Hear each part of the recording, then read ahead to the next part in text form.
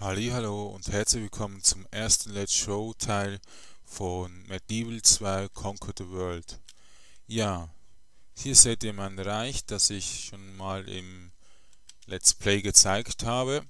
Leider äh, ist dieses Spiel nicht gerade für ein Let's Play gedacht, weil es mit der Zeit extrem streckt und das sieht man auch im Reich. Ich hätte jetzt schon, lang, schon längst die ganze Map erobert, aber ich, ich taste mich einfach sehr vorsichtig von Reich zu Reich. Momentan habe ich wirklich nur Krieg mit Frankreich und vorher hatte ich nur Krieg mit Irland, die da oben noch ein, ähm, eine Stadt gehabt haben und will dann Krieg mit den ähm, Kalmarer Union machen und so werde ich immer weiter ausbreiten und es geht extrem lang, weil die Maps riesengroß sind, die Einheiten teuer sind, die Gegner natürlich extrem cheaten und natürlich extrem viele Einheiten haben. Ich kann nämlich nicht checken, wieso ein Volk, das nur noch eine äh, Stadt haben, hat, zwei voll, äh, volle Armeen draußen haben und eins in der Stadt. Die cheaten hundertprozentig und das nervt und deshalb ähm, ja, es ist ein bisschen unfair gegenüber dem Spieler. Auch, dass ähm, zum Beispiel äh, mein Befehlshab, der Arthur, wo ist der? Der ist, glaube ich, hier unten. Mit der Zeit einfach nur noch äh, Negative bekommt, wie zum Beispiel jetzt minus 2 Autorität oder 15% Anstieg der Baukosten, minus 2 Verschmutz, ah, das ist positiv, aber ja, ich zeige euch jetzt mal kurz ein und vor allem hat der Arthur extrem viele HP. Das heißt, ich könnte ihn alleine in ein Riesenheer schicken, der würde nie sterben. Das ist völlig ein bisschen daneben, aber das ist jetzt eigentlich auch schon alles, ähm, was es so zu bemängeln gibt. Das Spiel ist natürlich sehr gut schon von Grund auf und der Mod macht vieles auch viel besser und dadurch ähm, äh, ist das Spiel schon vom äh, guten Grundstein aus sehr gut und dadurch, ja, ich habe jetzt hier wenig Probleme. Es ist gut, dass der Schmutz relativ gering ist und dadurch ähm, Ding, ähm, ich die Städte auch schnell besser machen kann, also mehr Wachstum und so. Ähm, ja, äh, das ist eigentlich ja, eine voll ausgebaute, äh, ausgebaute Stadt und sie hat ja eigentlich nur, ja da ist jetzt 70%, aber London ist auch die äh, am weitesten ausgebildete Stadt eigentlich fehlt nur noch die riesige Stein, Steinmauer, dann ist alles voll. Und ja, bei den Häfen fehlt hier noch, ähm, nein, da fehlt keines mehr. Also muss eigentlich nur noch zum Metropole gehen, äh, aber das wird ein bisschen schwierig. Ich denke, der Wachstum ist nicht groß, ja, 1%, also und man braucht 38.000, das ist auch viel mehr als sonst, weil normal ist es glaube ich 24.000 bis zur Metropole.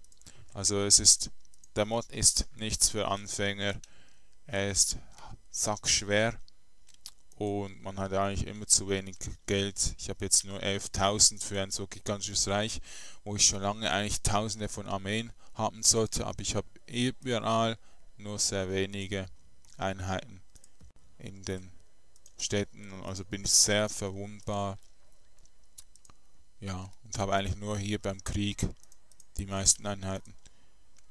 Aber eben, das macht auch die Taktik ein bisschen besser. Man muss taktischer vorgehen und so. Man kann in den Kämpfen auch nicht einfach auf die Gegner stürmen und fertig ist. Vor allem die Bogenschützen und die Reiter machen extremen Damage.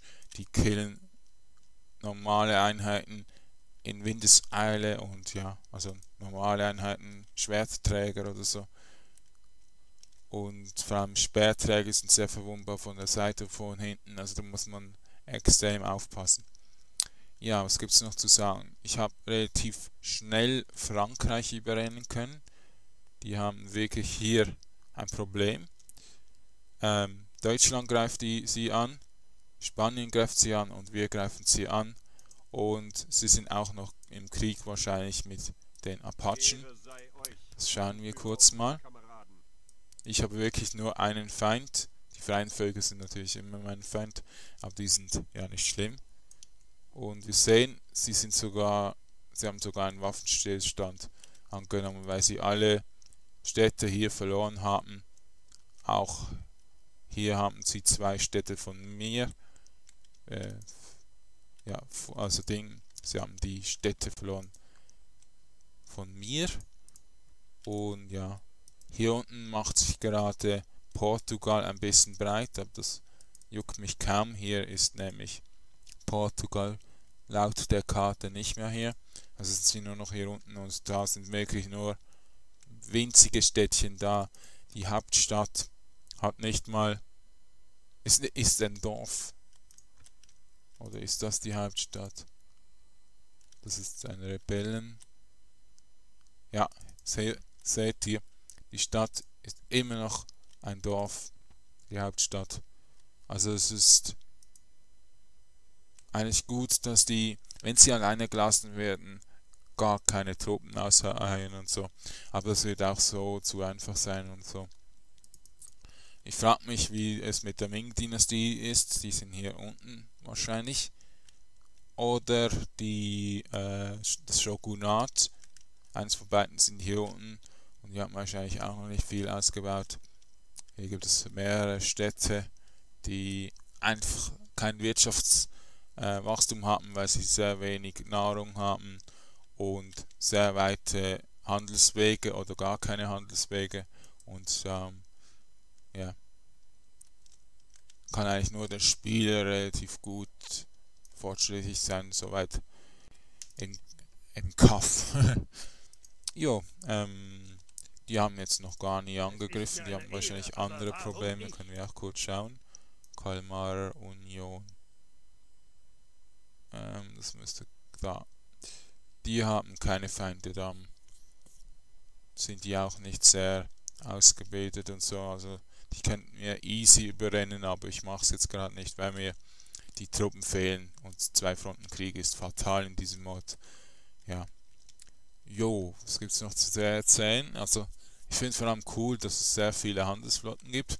Ich war immer so einer, der jedes Mal die Handelsflotten angeschaut haben, wie sie sich ändern. Die ändern sich je, äh, nach jedem äh, nach jeder Runde ein bisschen. Und ja, man hat eigentlich relativ viele Handelseinnahmen. Schauen wir mal hier, hier sind viele, also plus 2964 von der Stadt aus und Handelsaufnahme ist 998, also extrem viel für Medieval 2. Und deshalb, ja. Und es ergibt ja noch gar keine Handelsgilde hier, oder? Also ich sehe es jetzt gerade nicht. Nein, es gibt keine Handel. Doch, es gibt die Handelsgilde, also die Kaufmannsgilde, aber die ist nur auf erster Stufe und die hat jetzt nicht viel mehr Einfluss.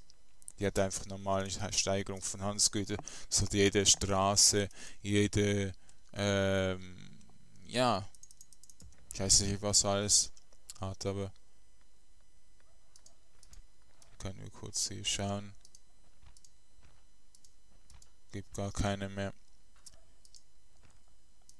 Also vor allem haben relativ viele Handelseinnahmen und deshalb, ja zum Beispiel hier Steigerung von Handelsgütern und schnellerer Handel, also sind Straßen viel besser als eine Handelsgilde der ersten Stufe.